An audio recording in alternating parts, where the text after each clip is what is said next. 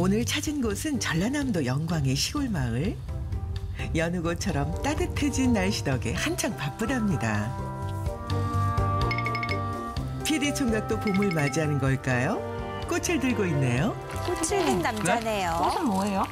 아 이거 어머니가 꽃 좋아하신다 해가지고 오! 끼쟁이.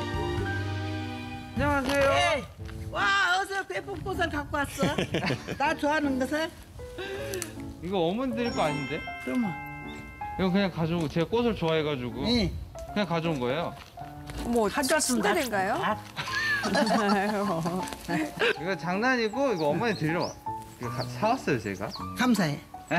너무나 감사해. 오, 시원시원하세요. 아직도 꽃을 보면 마음이 설렌다는 어머니. 여보. 봄이 오면 화단에 핀 꽃들부터 살핀다는데요. 어머니의 화단이 유독 알록달록인 이유가 있답니다. 요정이가 네. 내가 꽃을 좋아한 게 해서 보내줬어. 나를 생각한 게 고마워서 밥상 해서 주려고 보내줬어. 이기 총각 오셨어? 어? 꽃 심으셔? 아버님 꽃 여기 옆에 계시잖아요 어, 아, 맞아 맞네. 여 꽃보단 더 좋은 꽃이지. 아, 그래요? 목화꽃. 어머니 목화꽃이에요? 예.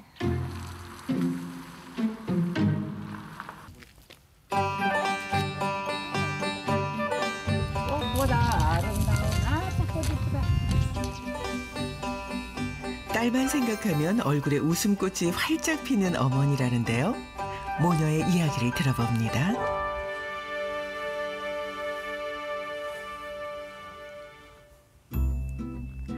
딸에게 어떤 음식을 보내줄까 몇 날 며칠 고민하던 어머니. 딸이 어릴 때 좋아하던 음식인 동태찌개가 먼저 떠올랐답니다. 어머니는 시집을 언제 오셨어요? 나 시집온 지 오래됐지. 이제 사 70살, 80살 먹었는데 25살 먹던 해, 6살 먹 해왔은 게 우리 오빠들이 막내딸이라고 언니 시집 안 본다게 늦긴 나. 하셨네요. 엄마 처음째 올케 있지 언니 내부에 세살 먹은 언니 있지 그런 게 일을 안 하고 살았지 금이야 오기야 귀하게 자랐던 어머니. 동네에서도 누구와 결혼할지 궁금했답니다. 어머니의 마음을 차지한 주인공은 지금 곁에 있는 남편이랍니다. 처음 만난 순간부터 지금까지 50년을 함께한 부부. 아버님이 이렇게 자주 도와주셔요? 아버지 예, 잘 도와주지 아버지 한 가지 나쁜 성격은 있어 다 좋은데 다, 다 좋은데 한 가지 나빠 왜 먹기에도 그 말이야? 아버님 뭐가 안 좋은데요? 성질이 너무 급해갖고 요거 것 같은 게 아버지 성질이 어, 이건 앞담한데요? 한번 풀어져 지- 그런 게 살기는 살았지 아버님은 100점 만점에 몇 점이에요? 몇 점 줄까? 한 80점 줄까? 한 90점이나 줘야어 어머나. 텔레비 나오는데 80점 준다면 요거지 당근과 채찍. 점이면 추억해 준 거요. 어머니 100점 만점에 몇 점이에요?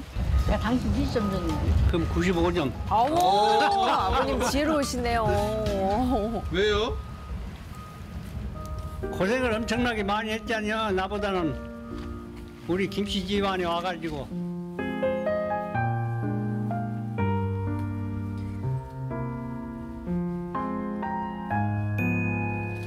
어머니는 결혼 후 삼남 일녀를 낳았는데요. 아이들을 돌보며 안 해봤던 일까지 하는 게 어머니에겐 버거웠답니다. 농사 많이 했지. 일 무지개 했어 우리 가득 했어요. 구멍가게. 그래도 그 째까는 거 집에 들어오면은 내가 이제 손님이 많이 하고 못 오면 지가 도끼 들어가서 치고 닦고. 한 열 살 먹었지. 서너 살 먹었지 누가 알려주지 않아도 고생하는 어머니를 대신해 일을 도왔던 건 하나뿐인 딸이었답니다. 그런 딸에게 두고두고 미안한 일이 생겼다는데요. 그날 홍합을 사다 국을 끓여서 놔뒀는데 이렇게 짚어버리더라고 애기가 이렇게 손으로 국솥을 짚어버려갖고 손 여기까지 다 뒤어버렸는데 나는 뒤어서 어찌 하는지를 모르는 게 우선 뒤에서 저거니 소금을 갖다 싸버렸어 막둥이 비어갖고 집안 난리 났어. 아, 할아버지가 할머니가 난리지. 난 그때 정신이 없은 게 우리 딸한테 혼냈어, 내가. 얘기 안 봤다고. 속상하셨겠다. 학습지 비슷한 그런 거를 그때 마치 뭐 동네에 왔었는데 저한, 저한테 공부시켜 주신다고 해주셨거든요. 그게 진짜 기분이 좋아서 막 친구들과 놀고 늦게 들어왔는데 이제 집에 그런 일이 터진 거죠. 그래서 저는 기분이 엄청 좋았는데 이제 동생 일로 이제 그 기분이 다 다운됐죠. 기억하고 혼자서. 오그랬긴 했는데 뭐 근데 크게 크게 뭐 저희 때는 그런 상황에서 크게 뭐 부모님 엉망하고 이런 건 없었던 것 같아요. 지금은 사가리 누가 자식한테 사간다니까. 지금 부모들이 얘기들 하면 엄마가 잘못했다, 엄마가 잘못했다 그러지. 우리, 우리 딸 그때는 그런 것이 없어.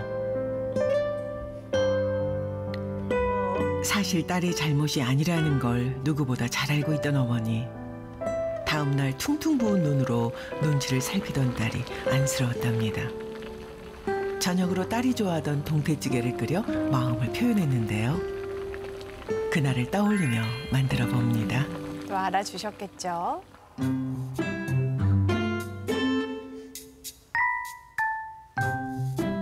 화장실로 향하는 어머니. 쪼그려 앉아 걸레를 빨던 옛날과 달리 요즘은 참 사는 게 편해졌답니다. 오 이거 이거 이거. 이거 좋아요. 내가 몸이 많이 아파서 딸이 사줬어요. 오. 습관이 배인 걸까요? 안 아픈 곳이 없지만 청소는 게을리할 수 없답니다. 제가 할게요. 청소요? 네. 그러세요. 청소도 해주셨네. 총각이 또 청소 전문가거든요. PD 총각 덕분에 여유를 즐기는 어머니. 자, 95점. 우리 텔레비 크지요? 어, 태양이 크네요. 네. 잘 보이고 깨끗하게 나오고 딸이 사줬어. 자랑하려고.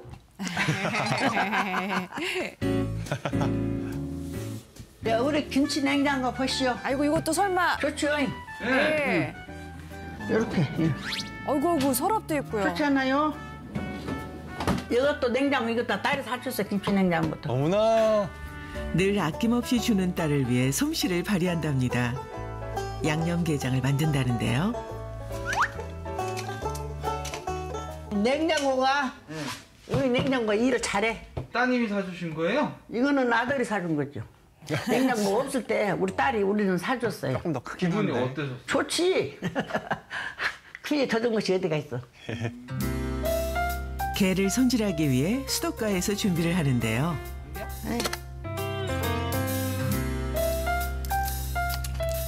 옛날에는 걔가 연그렸는가? 안 따봤어. 옛날에는 안 따봤단 게. 아버님 여기 왜 오신 거예요? 공좀 쓰는 게 좀 협조해 주려고 거들어 주려고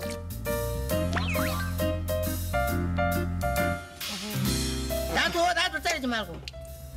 협, 협조하셔야지, 아버님. 통장이 먹어버리 당연히 한다고? 응, 손대지 마. 그럼 나는 해놓고 응. 내가 돈, 돈 해줄 때만 주면 음. 이런 것은 내가 한차 해놓으면 다 낫지. 산란기를 맞이해 게의 알이 꽉 들어찼을 지금 양념게장을 만들면 가장 맛있답니다. 아유. 어렸을 때 게장을 좀 많이 드렸어요? 우리는 많이 먹지. 먹고 남으면 찬통에다 넣어놨다가 게장은 특히 빨리 부풀어 버려. 그러니까 담아서 얼른 빨리 먹어야 돼. 냉장고가 없던 시절에는 아끼려다 귀한 음식이 상하는 일도 흔했는데요. 아, 어머니만큼 부엌에서 오랜 시간을 보낸 딸은 그 고충을 누구보다 잘 알았답니다. 우리 딸이 고등학교 졸업해갖고 바로 나가서 취업을 했어요.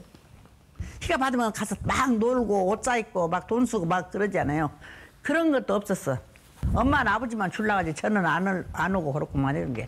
가면 보면 짠하지. 고등학교 졸업 후 27살까지 컴퓨터 생산 작업을 했던 딸. 월급 60만 원을 아껴가며 차곡차곡 돈을 모았다는데요. 27살 먹은 게 결혼하려다 하더라고. 그럼 결혼하기 전에 저가 냉장고고 세탁기를 사줬어요. 아 기분이 날라갈 기분이지. 없는 것을 갖고 있는데. 들어와서 사람들이 우리 집 와서 보고 아이고 이 집에 세탁기 샀네 냉장고 있네 막 그랬지.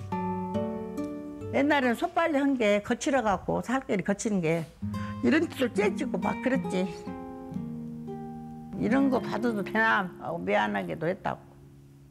그 동네 딸들이 많았거든요. 저희만 딸들이 한, 하나였는데 그런 부분도 이제 있었으니까 뭐 나도 해줘야겠다는 그런 생각이 있었나 보죠. 다음에 또 조- 갖고 싶은 거 있으면 말씀하세요. 다음에 또 좋은 거 사드릴게요. 열 달 부럽지 않으셨겠어요. 요즘처럼 날이 따뜻해질 때면 음식이 상할까 걱정거리 하나가 더 늘었던 어머니. 딸에게 냉장고를 선물 받은 뒤 양껏 양념게장을 만들어 두고두고 먹을 수 있게 되었답니다. 그 고마움을 담아 만들어 봅니다.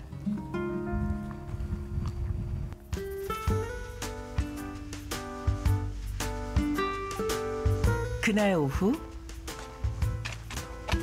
우리 할머니랑 운동 갑니다. 엄마가 운동으로 매일 두번 써. 두번 써? 오전 오후.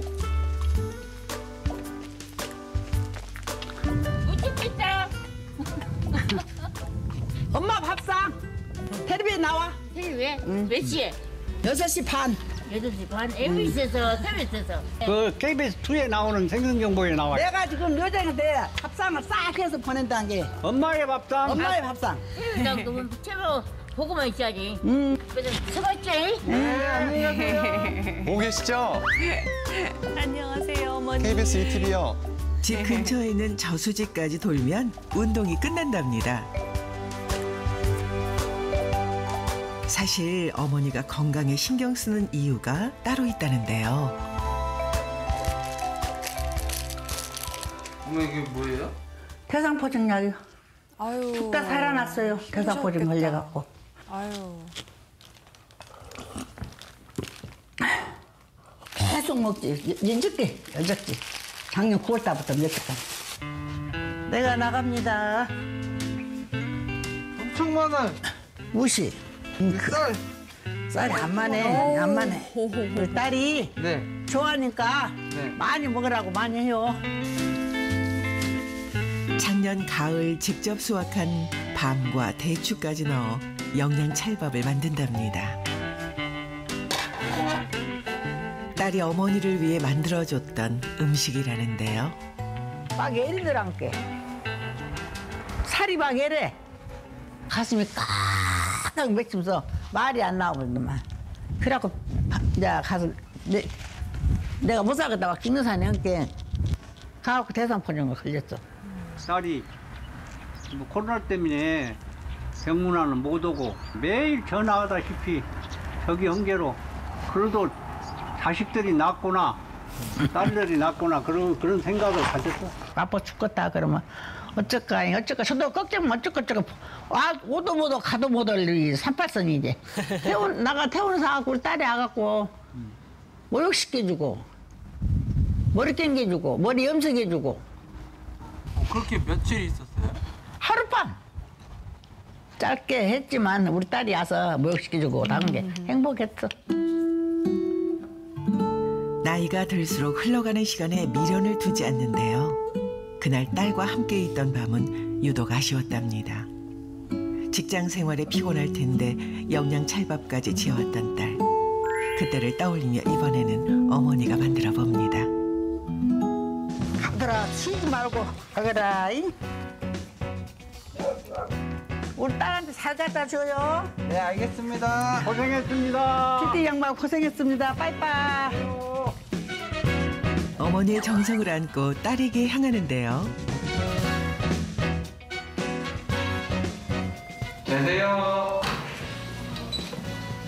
안녕하세요. 안녕하세요.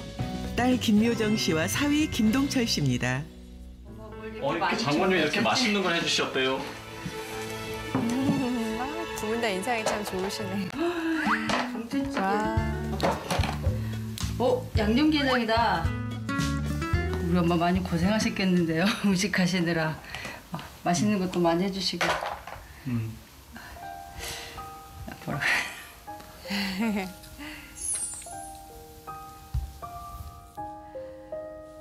아유, 먼저 엄마 생각부터 또 이렇게 하시네요.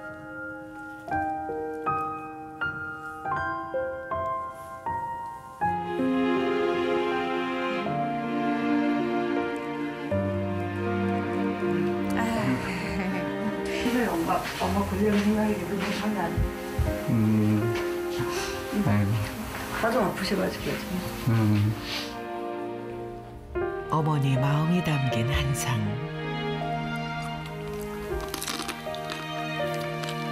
어릴 때 지금 맛있게 잘 먹었는데 진짜 와리 꽉 찼는데요. 우리 와이프가 해주는 것도 최고 맛있는 것 같아. 아, 그 말은 맞아. 그치? 이제 어머니의 진심을 들어볼 시간입니다. 친정어머니 보시니까 어때요?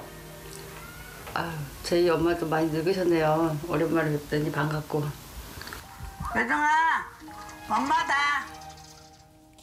엄마인데 엄마가 니한테다가 영상 편지 쓴다 나는 네가 너무 열 가지는 보단 더 큰 존재다. 이게 나는 특별히 좋다. 엄마 아팠을 때게 네가 하룻밤만 자고 간 게 엄마는 너무 서운하더라. 또 엄마 아빠가 보고 싶고 한 게 한 번 꼭 온나이? 하나 둘 셋. 사랑한다! 사랑한다. 똑같이 하란 게. 아, 나, 나 춤을 말라고 말이 안 나오고 살면서 엄마랑 엄마한테 못해준 것 중에 제일 아쉬운 게 음, 여행을 한 번도 못 간 게 정말 아쉬웠던 것 같아요. 엄마가 항상 자식 걱정하느라고 어, 아, 딸내미 잘 살아야 잘 살아야 사는데 지금 너무 걱정 많이 하지 마시고 아프지 말고 건강하시게 잘 지내시길 바랄게요. 엄마 아빠 사랑해요.